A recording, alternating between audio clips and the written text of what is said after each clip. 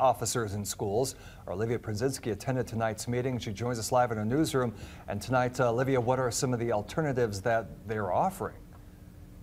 Hi, Tom and Caitlin. The board was presented with three different alternatives to school resource officers.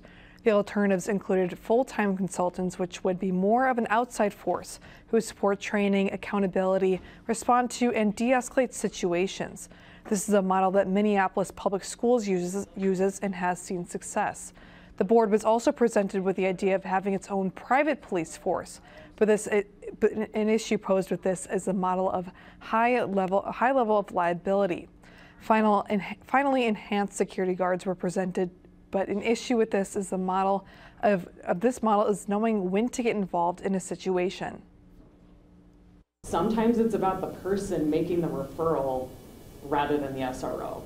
And so my stance in this whole time has not been anti-SRO, it's been anti-systems of inequity that are negatively impacting our students.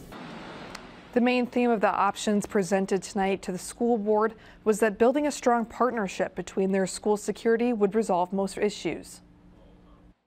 I view that uh, the issue is not just uh, based on what, uh, whether or not one wears a uniform or uh, sits in a classroom, but it is something much more basic, call it sin.